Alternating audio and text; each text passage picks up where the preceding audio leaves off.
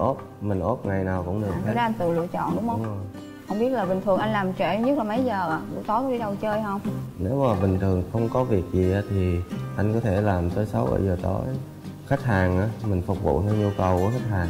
Rồi mình có thể hẹn ngày, ngày mai hoặc là không nhưng mà mình muốn làm thì mình cứ làm thôi. Anh thì ít nói lắm. Nên à, phải bắt chuyện anh mới nói được nha. Em khó em ơi em khó em ơi không biết anh có xuống bến tre chưa anh xuống tới long an là hết rồi. Còn chưa tới xuống cái đó đâu. À, chưa có dịp đúng không? Đúng rồi. Chưa, chưa xuống dưới miền tây. Xuống nó không biết bơi. Thì nước anh không. thì anh đi ở trên đường anh đừng xuống dưới nước. xuống nó xong nước không mà. Sông nước nhưng ta có cầu mà. Đâu giờ sợ. Anh cũng ăn đi tại vì em em ờ, đang làm răng á nên ăn cũng hơi khó xíu. anh có gì hỏi em không? Nãy giờ em hỏi anh không à? Chắc không có gì hỏi quá. Vậy ví dụ như bây giờ hai đứa mình quen nhau thì anh dành thời gian nào cho em? Em muốn thời gian nào cũng được hết à. Nhưng mà ban Vậy- ngày đi vậy làm là- rồi mà em muốn ờ, buổi tối thôi chứ. Còn ví dụ như ngày chủ nhật hay ngày thứ bảy thì em nghỉ thì ngày hôm đó anh ốp thôi. Thời gian thì quá đơn giản.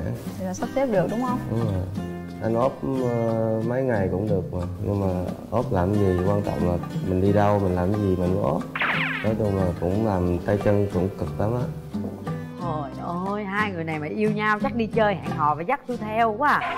Sao không ai nói năng gì hết trơn cái trọi vậy? Em quan điểm như thế nào về việc sống thử? dạ cái đó thì em không có thích lắm ạ ví dụ như là ví dụ như mình tìm hiểu mình yêu thương thì nhau thì mình quyết định quyết định tới hôn nhân luôn à. Ví dụ như bây giờ em lấy chồng, ngày em phát hiện ra là ở chồng em hay ờ, đi làm mà rồi công việc hay ngoại giao hay tiếp khách rồi hay đến những cái nơi nhạy cảm ví dụ như đi uống bia ôm ờ, đi cà phê ờ, đi gì đó đi massage mà những cái chỗ nhạy cảm thì em sẽ phản ứng như thế nào? Em sẽ bình thường chị ví dụ như quan trọng là thái độ của anh đó ạ cái đó là cái việc xã giao bình thường thì mình không nói. Ví dụ như mà anh ấy thích như vậy thì phải coi lại ạ. À, em quan điểm như thế nào về việc đó khi mà mình độc thân? Nó khác khi mình lập gia đình thì em nghĩ cái chuyện mà người đàn ông đi ra ngoài giao thiệp rồi đến những cái chỗ nhạy cảm với bạn bè thì em nghĩ điều đó là bình thường hay là điều đó chưa, thưa chị là theo như nghĩ là chưa có gia đình á, thì mình đi chơi thì nói chung là cái thanh niên mà. Em nghĩ nó bình thường quá. Ừ. còn mà đã có gia dạ, xin chào chương trình ạ chào chị Cát Tường. Rồi. À, mình là tên Vũ năm nay là 30 30 tuổi rồi. Sinh năm bao nhiêu vũ? Dạ 1991 vũ đang làm công việc gì quê ở đâu? làm bên à, kỹ thuật viễn thông của một công ty á Ừ. FPT chị rồi ơi có xăm mí mắt không vậy? Dạ không chị. Rồi Tự mắt nhiên. đẹp quá trời mắt to mà đen long lanh. Lát em coi thử đúng không nha rồi bây giờ em gái giới thiệu nè. Dạ chào chị Cát Tường à, chào anh đối diện ạ. À. và chào khán giả đang xem truyền hình ạ. Thì hiện tại em ờ, tên là Lan ạ. Thì em ờ, 27 tuổi. Thì công việc của em là kế toán. Hiện tại em đang ờ, sống và làm việc ở thành phố Hồ Chí Minh. Ừ. còn quê của em là ở Bến Tre ạ. à, sau này ví dụ như lấy chồng lập nghiệp mình muốn ở thành phố Hồ Chí Minh hay là ví dụ chồng mình có về quê thì mình có ngại ờ, theo chồng hay là không? Dạ em không ngại vấn đề đó chị. Rồi miễn là có được một người chồng dạ đúng rồi. Mình cũng như là mình cũng ở đâu cũng được miễn là mình quan tâm với ba mẹ mình được là được rồi. Dạ. đúng rồi cảm ơn em. Điểm mạnh điểm yếu của em là gì? Điểm mạnh của em thì em cũng vui vẻ hòa đồng còn điểm yếu của em là ừ, cũng như hơi trầm tính xíu chị. Ví dụ như là cũng hơi thất thường lắm. Ví dụ như là vui thì vui lắm mà còn buồn thì em im im ru à không nói Vậy gì hả? hết dạ. Ờ, mình có cái tật xấu gì không nè? Hay là cái khuyết điểm gì không nè? Cũng nhiều lúc cũng hơi nóng tính đó. Ví dụ như mà cái việc mà mình à, không có như ý của mình á thì cũng hơi bực trong người á. Cũng hơi nóng tính xíu mà xong rồi là không có gì hết. Dạ. Ừ. còn bên mình điểm mạnh điểm yếu của em là gì? Dạ, điểm mạnh thì em tự lập từ nhỏ á. Cái gì em làm cũng được hết Việc trong nhà là em làm được hết. Em hơi nóng tính một xíu. Với lại em khó tính nữa. Em đang làm cái gì á? Hay là đang, nói chung là tập trung vào công việc á Mà có tác động ở bên ngoài là em khó chịu. Ừ. rồi bình thường bây giờ mình ở nhà vậy rồi ăn uống nấu nướng sao? Dạ, mình tự à, ăn chị. Ăn cơm ngoài dạ, hả? Đúng rồi Ờ, ăn cơm ngoài không chứ không có nấu cơm ăn. Dạ không, tại vì em đi làm à, tối ngày mà Sáng là đã đi làm rồi. Bên đây là cần một bàn tay người phụ nữ chăm sóc nè cho mới có da thịt đẩy đà cấu trúc gương mặt là rất là đẹp trai. Tuy nhiên là hơi ốm tôi nói trước để mà bên đây người ta biết. Đó rồi thôi rất là thông cảm với các bạn mà phải xa xứ để mà mưu sinh và lập nghiệp thì nó vất vả như vậy đó. Tình trường thì sao? Dạ em trải qua một mối tình thời học sinh sinh viên á chị nó cũng không có gì à, à, thôi. Rồi cuối cùng là em đi làm riết rồi cứ sáng đi tối về rồi tối lại thì ăn xong rồi ngủ à. Nhưng mà em đi làm giờ giấc công việc như thế nào? Mấy giờ là xong việc? 7 giờ thì mình làm công việc nó cũng không có cố định á. Ví dụ mình phục vụ khách hàng mà. Khách hàng về có khi là 6 7 giờ tối khách hàng mới về thì mình cũng phải phục vụ. Vậy rồi nguyên buổi tối là ở nhà không vậy đó hả? Dạ đi làm về mệt thì không có đi đâu được hết. Rồi mà cả chục năm vậy không bạn không bè không gì sao? Dạ, trong này cũng ít bạn bè cũng ở quê hết à mà cũng không có ngắm nghía một cô nào sao? Đi không làm phải chung. không ngắm nhưng mà nói chung là em không biết. Em gặp người lạ em không biết bắt đầu như thế nào á. Đang nhìn nhìn vậy thôi chứ còn mình không biết.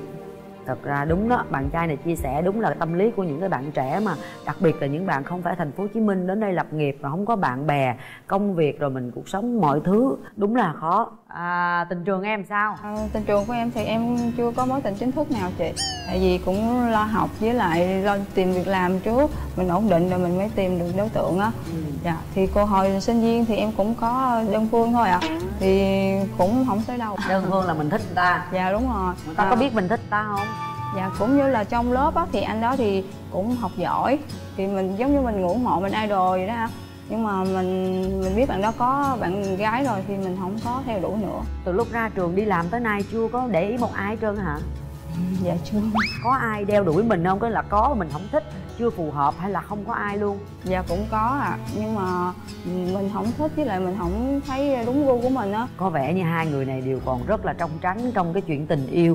Em muốn tìm một người như thế nào? Dạ thì chủ yếu là biết quan tâm mình là được rồi chị. Làm việc nhà rồi chia sẻ những công việc với mình. Cũng như là mình buồn thì cũng có người để nói chuyện. Mình vui có người chia sẻ. Em thiên về tình cảm nhiều hơn. Về ngoại hình? Ngoại hình thì em ưa nhìn một xíu và thì phải cao hơn em ạ. À em thấy hơi cao à em cao nhiêu? Dạ có mấy sáu thôi chị. Mấy sáu bên đây cao nhiêu? Bảy sáu tám. Rồi có điều gì em không thích về một người bạn trai? Ừ, không biết bạn trai bên đó có hút thuốc không ạ? Có em đó có em. đó về vì cái kiểu ở xa nhà mà ở một mình nữa chắc chắn là có hút thuốc. Anh anh tới từ từ cai đi ạ. Hút nhiều ít ngày hút bao nhiêu ừ, ít chứ không nhiều. Một gói có khi một hai, ba ngày. Hết hồn gói có khi hai, ba ngày. Bây giờ mình bớt dần dần lại đi. Tại sau này lấy vợ sẽ có con cái rồi nữa rồi cũng phải từ từ bỏ hả? Có nghĩa không bỏ hẳn, lâu lâu một vài điếu cũng được. Mình đừng có bị phụ thuộc vào nó quá. Về sức khỏe của mình nhiều khi cũng hút thuốc quá mà mập không nổi á. Có đi khám sức khỏe định kỳ không? Dạ có công ty là tháng năm nào cũng khám à, định kỳ đó nó hút thuốc nó cũng không có tốt cho phổi của mình nữa. Nha từ từ bỏ nha. Ảnh hưởng cho người khác nữa là cái người hút thuốc bị động người ta sẽ bị nhiều khi bệnh còn nặng hơn cái người hút thuốc chủ động. Có yêu cầu gì nữa không? Phải hiền xíu ạ. À. tại hiền. vì dạ tính em cũng ấy cũng hiền mà bạn đó giữ quá em làm xiết em là vừa hiền hay dữ? Em thì nóng tính trong cái lúc đó thôi chứ còn xong mà xong rồi. Rồi thế còn em tiêu chuẩn em muốn tìm một người bạn gái người vợ tương lai như thế nào? Biết sống đối nhân sự thế đối với em là cái quan trọng nhất. Mình sống một con người với con người á mình làm sao cho nó đừng có mất lòng nhau được có cần cái bên ngoài như thế nào không? Chuẩn dạ mắt không. mũi miệng tóc tai cái đó thì mình nhìn sâu rồi mình mới biết được rồi cơ bản là như vậy. Em có đem hình ảnh đi theo không? Hai em dạ có một tấm mới được không chị đâu được đưa đây coi cho bạn gái đoán thử xem. Anh nào? Anh này tại sao em đoán là anh đó? Tại vì anh nói anh cũng hiền đó còn mấy anh này thì đoán là được ai chưa? Đây phải không chị? Tại sao đoán là cô đó? Dạ tại vì đoán theo chiều cao. À. Dạ. cao đó hả? Rồi xin mời hai em nhìn qua cánh cửa trái tim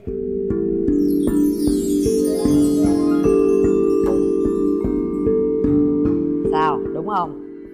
Em không biết là đúng hay không trời ơi nhìn bên ngoài vậy rồi mà còn không biết đúng hay không nữa hả?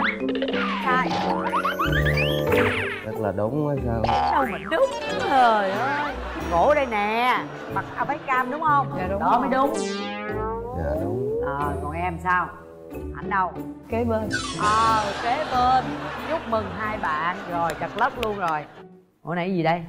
Dạ quà. Tặng đi dạ em có món quà gửi cho anh ạ. À. cảm ơn em tại vì anh bên này chương trình gọi hai gấp quá nên anh chạy từ quận chín lên đây là chưa có quà cho em á. Dạ không sao cái này quà tặng sau nha. Có không à? Đó mới nói à bây giờ bị phạt nè vừa không có quà cho người ta mà còn vừa đoán sai hình nữa mà nhìn nhau rồi mà còn chưa nhận ra nữa bây giờ có hình phạt. Ảnh á bây giờ mình phạt ảnh hát được không? Dạ được ạ rồi mời em. Cánh hồng phai. Rồi mời Dạ. em là một đoạn cánh hồng phai.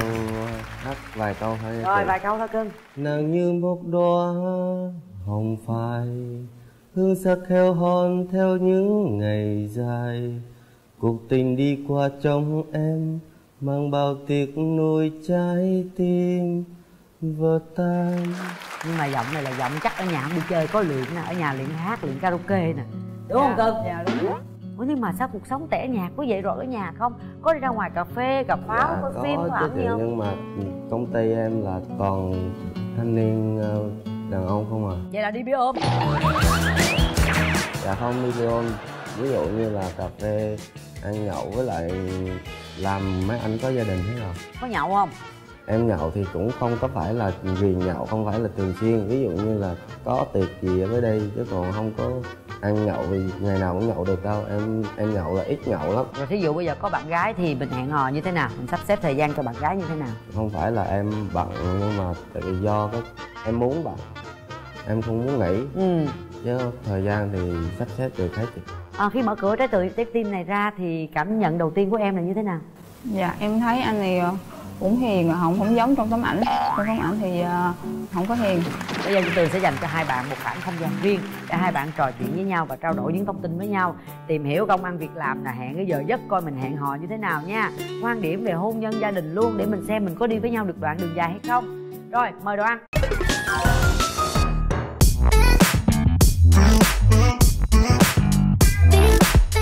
Rồi, trời ơi, quá hấp dẫn luôn. Đúng là buổi trưa chúng ta đói bụng rồi.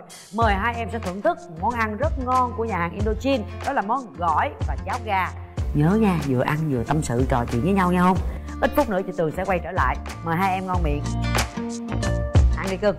Ủa gì bình thường anh làm anh nghỉ thứ mấy? Là anh làm nguyên tuần tuần sẽ luôn. có một ngày ốp mình ốp ngày nào cũng được cái hết. đó anh tự lựa chọn đúng không? Đúng rồi không biết là bình thường anh làm trễ nhất là mấy giờ ạ? Buổi tối có đi đâu chơi không? Nếu mà bình thường không có việc gì á, thì anh có thể làm tới 6 7 giờ tối. Khách hàng á mình phục vụ theo nhu cầu của khách hàng.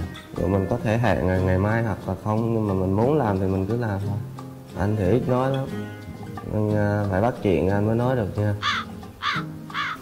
Để em khó em ơi Để em khó em ơi không biết anh có xuống bến tre chưa?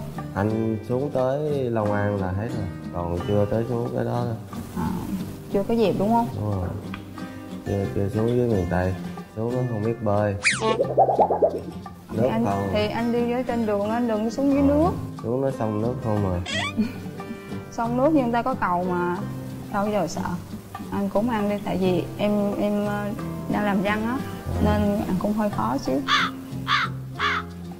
Anh có gì hỏi em không? Nãy giờ em hỏi anh không à chắc không có gì hỏi quá.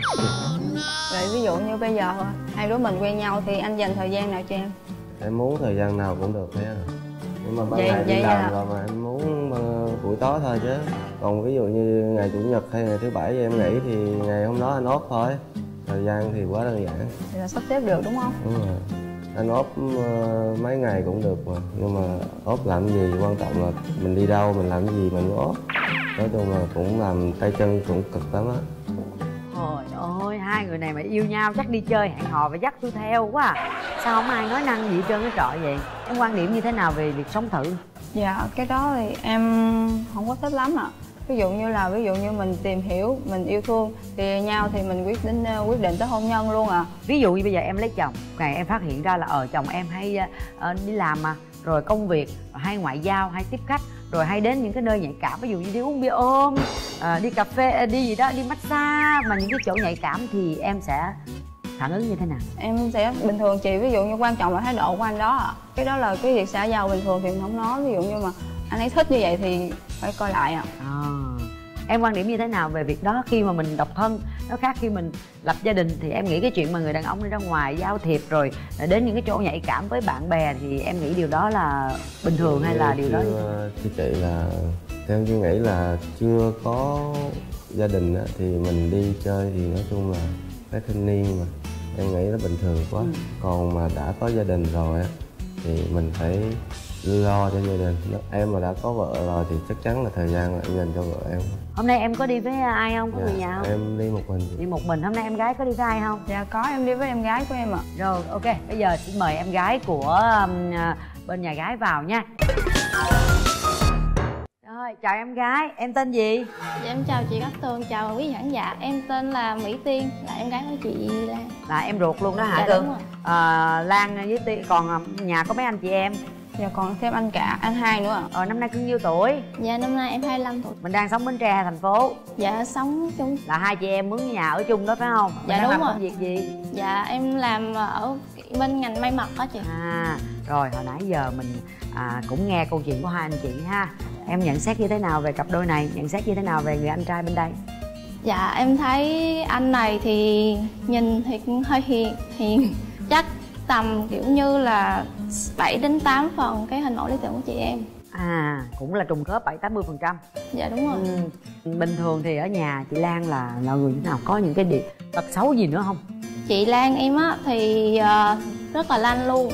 Nhưng mà lên đây sau nãy giờ thấy không lanh vậy? không chắc là do run với lại một phần em thấy chị em cũng hỏi anh này nhiều mà anh này ít hỏi anh chị em nhiều. Chỉ có cái tính là hơi nóng xí hơi nóng một xí thôi đúng không? Mình biết vậy thì thôi. Mình kèm kèm kèm lại ha. Cho bớt cái nóng nhiều khi nóng quá là hư bột hư đường hết. Rồi bây giờ một lời khuyên dành cho chị mình thì em khuyên chị mình như thế nào? Chị nếu mà chị nãy giờ tiếp xúc với anh này mà cảm thấy là ok hay là có thể là tiến sâu hơn thì chị có thể là cho anh này một cơ hội hoặc là hai anh chị cùng nhau cho nhau cái cơ hội dạ ha dạ. rồi cảm ơn em gái. Rồi mình sẽ tiếp tục theo dõi câu chuyện anh chị nha. Bây giờ chương trình dành cho các bạn thêm một cái ờ, thử thách mình vượt qua. Mỗi người bóc một lá thăm để mình có thể hiểu nhau được nhiều hơn trong cái thử thách này. Mời em. Cô gái yêu cầu bạn trai thể hiện một hành động nói lên sức mạnh của đàn ông. Em có quyền yêu cầu anh ấy. Vậy em muốn anh của anh làm gì? Thì anh hết đất cho em 10 cái. Hít đất cho em 10 cái được không nhà một mình phải tập thể dục chứ thôi ốm mà tao nói mình yếu mình phải chứng minh ốm nhưng không hề yếu. Rồi mời em. Đếm đi cưng con gái. Một hai ba mạnh ba nhìn sức. bốn năm tuyệt vời. sáu bảy tám chín mười. Ốm nhưng không hề yếu nha. Rồi bây giờ mời bạn gái bóc một lá bài. Bạn trai xin phép nắm tay thể hiện tình cảm với bạn gái sau đó hỏi cảm nhận của cô ấy. Thở thở. Thở đi cưng nha đây là yêu cầu của chương trình để mình kiểm tra lại cái cảm xúc của mình xem mình có cái điện nó có chạy không nó có sự va chạm nó có cảm xúc gì trong người không nha. Mời em. Anh xin phép rồi nắm tay 30 giây đi nhìn thẳng vào nhau rồi mỗi người nói một câu thôi mình nhìn nhau đi. Cảm giác của em như thế nào? Em run quá. Được là chị. Không nói gì hết hả? Dạ không. Nắm tay chặt quá vậy mà không nói gì trơn vậy. Quan trọng anh đó nói cho em chứ. Em cũng không biết nói sao luôn. Rồi được rồi, mời hai bạn về vị trí Cảm xúc của bản thân như thế nào Hoặc là nhận xét về người đối diện như thế nào. Tùy mình, mời em trai nói trước. Thì cảm nhận của em thì thấy bạn gái này thì cũng dễ thương. Nhưng mà có bốm giống em. Hai người thiếu ăn, thiếu Dạ. người chăm sóc. Đấy, cảm nhận của em như vậy thôi. Chị Rồi, mời em gái cảm nhận của mình ngay lúc này như thế nào? Dạ Ờ, cảm nhận của em là từ lúc mà tham gia chương trình này ví dụ như là em vui ạ. Thì em ờ, hôm nay thì được gặp anh ở đây á, thì thấy anh cũng hiền cũng mong muốn là ví dụ như sau này mình có ờ, thêm ờ, thời gian về dành cho nhau cũng như là mình trao đổi những cái kinh nghiệm ví dụ như là sau này ờ, bình thường anh ở sống một mình đúng không? Thì sau này sẽ có em. Rồi, cảm ơn hai bạn. Bây giờ là giờ phút quan trọng nha. Mình bấm vì cảm xúc của chính bản thân mình Và phải chịu trách nhiệm về điều đó. Mời mình đặt tay vào nút bấm. Sau 3 tiếng đếm của Di Tường Đồng ý mình bấm mạnh Không đồng ý mình có quyền lấy tay ra. Một. Hai. Ba. Hết thời gian. Của em có bấm không Em có bấm không? Bấm mạnh vô. Chị thấy là thật sự bạn gái bấm trước em Nhưng mà bạn gái- đèn bạn ấy không có xa, không có sáng. Nó chưa trùng khớp nhưng mà các bạn ấy cũng đã bấm nút và đèn đã sáng. Chúng ta nhắm tay nhau nhé bây giờ chúng ta đã chính thức là một cặp đôi để tìm hiểu nhau. Mời hai bạn nắm tay nhau rồi bây giờ chị tường hỏi uh, em trai nè em đang còn băn khoăn điều gì? Chị thấy trong cái bấm nút của em nó chưa có sự dứt khoát mà mình còn ái ngại một cái điều gì đó. Em cũng không biết em nghĩ cái gì nữa. Đây là cái quyết định mà nó nó cũng khó khăn khó khăn. Nhưng cuối cùng tại sao em lại quyết định bấm? Em muốn để tìm hiểu này nó như thế nào. Muốn cho mình dạ, cơ hội cố gắng quan tâm nhau chăm sóc nhau thật nhiều và hy vọng rằng là cũng sẽ đến lúc các bạn báo tin vui cho chương trình. Em muốn cho ờ, mình cơ hội cũng cho bạn một cơ hội thì em thấy bạn hiền quá, họ cũng như ít nói nữa. Nên em muốn là bạn đó phải, sau này phải nói nhiều hơn à nếu mà đi chung với em à. Dạ em thấy bạn này là hiền à có thể là biết quan tâm với gia đình là tại vì bên sống một mình thì bạn sẽ cần nhiều tình cảm hơn. Ví dụ như sau này mình có uh, làm bạn với nhau thì cũng quan tâm chia sẻ với em được ạ. À. chị uh, nếu em vô tình mà phát hiện bạn này uh, đi uh, những cái chỗ mà không có đàn bàn ví dụ như là quán karaoke hoặc là đi ôm gì đó thì em sẽ đợi bạn đó giải thích với em. Nếu bạn ấy không giải thích với em thì em sẽ hỏi. Mà tới lúc đó thì uh, thì thì hơi hơi căng đó chị mặc dù là anh đi ờ, uh, là kỹ thuật nhưng mà anh cũng phải giao tiếp với khách hàng ạ phải nói nhiều hơn. À, phải uh, cũng giống như em phải là chăm ăn uống hơn. Em cũng biết do cái gần lần gặp đầu tiên mình chưa có nhiều tình cảm chưa có nói chuyện được nhiều á chị. Nhiều khi chưa cảm được hết. Trước mắt thì em sẽ mặc dày xíu em chủ động xíu. Còn mà ví dụ như mà cái tính kia em duy trì hoài như vậy mà anh đó không có phản hồi lại á thì em ờ, em nghĩ em sẽ dừng lại đàn ông á, thì em nghĩ là phải mơ hơi mạnh mẽ một xíu à. Cũng như đừng có yếu đuối quá, rồi còn để bảo vệ cho mình nữa. À em thấy là anh hiền hiền quá so với cái mức mong đợi của em. Còn ờ, nói thì ít nói, với lại anh không có giống như là giao tiếp, không có ờ, giống như là trao đổi với mình đó chị, không giống như là không có hợp tác á. Còn về sau này không biết là đã quen được rồi á, thì không biết là có nói chuyện nhiều hơn không? Cảm xúc hiện tại thì nó cũng giống như hồi sáng là không có gì bình thường cảm nhận thì dễ thương. Còn cảm nhận tiếp theo nữa thì cái đó từ từ có có thời gian mà nó biết được. Em quan trọng là, là vẫn là cái tính cách hơn. Để từ từ rồi thời gian nó sẽ quyết định. Em cũng không biết nói là sao nữa. Nhưng mà ờ, hiểu em là được. Còn mà không hiểu em thì chắc chắn là, là, là không không không có tiếp tục được đâu. Em không em không phải là khó khăn gì nhưng mà cái tính em là nó khó. Tất nhiên là em ăn uống khó. Vậy cô gái người miền tây, em người miền trung, cái ẩm thực của em là phải cay, phải mặn. Còn miền nam thì nó hơi ngọt.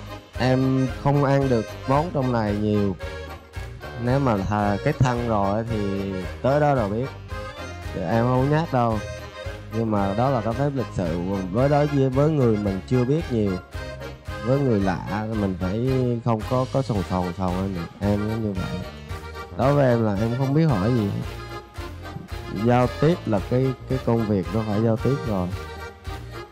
Tại vì khách hàng mà mình đi làm, mình gặp người ta thì tất nhiên là mình phải giao tiếp rồi. Mà còn cái này là cái người ở lạ với mình lắm, nên lần đầu tiên gặp nên mình cũng không biết nói gì hết. Gặp khách hàng là cái công việc, mình có có cái nội dung để mình nói còn gặp người đây là người để mình quen, mình tìm hiểu á. Nên không biết bắt đầu từ đâu nên nó khó nó khó với em lắm. Vẫn có thích bơ bấm ấy. chứ không phải là thích thực sự đâu chị. Em là một người đàn ông mà không có lãng mạn, không có có kiểu như là tỏ tình, cái kiểu đâu em muốn thực tế mình đừng có nói nhiều, mình làm nhiều đi, chứ mình đừng nói nhiều, mình nói nhiều là mình cuối cùng mình làm được cái gì hết trơn á, là người ta cười. Bước tiếp theo thì cũng giống như bao người, bao cặp tình nhân khác thôi, vẫn hàng hò đi chơi bình thường thôi chị. Còn cái cảm xúc nó tới đâu thì nó tới thôi. Chứ không, bây giờ không không có nói trước được, em không có nói nhiều, em à, muốn làm nhiều thôi.